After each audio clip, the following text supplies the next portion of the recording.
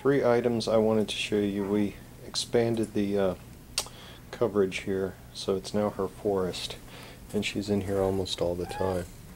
There she go. Shoes! Hi, Shoes. Can I have an eh? Shoes?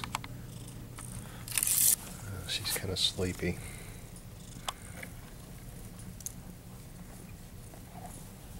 Too sleepy even to bite. Number two, Lucy is a good girl. Lucy's a good girl. She thinks I'm talking to her.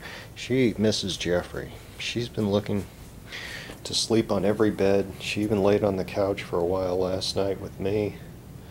When I was up there, she slept in Rachel's bed a couple times. She wants Jeffrey to come home so she can sleep in his bed.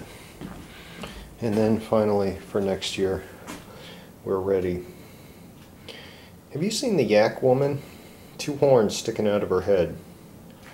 But a hell of a nice gal and a good cook.